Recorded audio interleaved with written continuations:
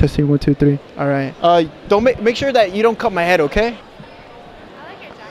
All right. Thank you. What is scary to you? What's scary to me is when you get goosebumps and you don't want to get up to go to the restroom or like you hear a little creak in the, the house and you're like scared that somebody's gonna come like slit your neck. Um, scary is just like whenever you feel that like that crawl up your back and it's like it's obviously scary it makes you feel some certain type of way but you enjoy that feeling it's the adrenaline rush that comes with it like going to a haunted house or being behind somebody like this and just being scared What is scary to you? So no fear. No fear. So what is scary to you? Look at me. I'm scary. Honestly, I don't think you're scary. Oh, you don't think so? No. Oh. That sucks. What is scary in your opinion? death. Yeah, you don't know when it's going to happen. You don't know what happens after.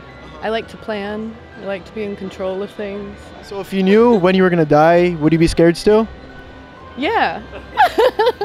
I like horror movies that are like body horror or very graphic. John Carpenter's The Thing is my probably my favorite. Oh. Why is it scary to you? It's just like it's freaky. The one thing that in movies that does make me jump is always when they like change the sound up when somebody's jumping out. And I actually kind of think it's cheap because I'm like, come on, why are you using that? Like if I Kind of expect it. if I'm muting you, it would not be scary.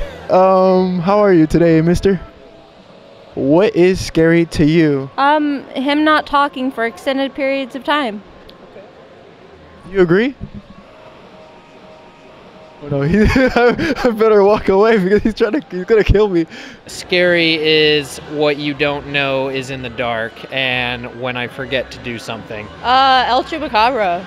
That's scary. That's the only thing that scared me in my life. Think it's real? I used to. I'm still not sure. What What is scary for you? Me? I don't know. It's honestly better not to be scared about anything. I was gonna say, this interview is scary, but it's not so bad.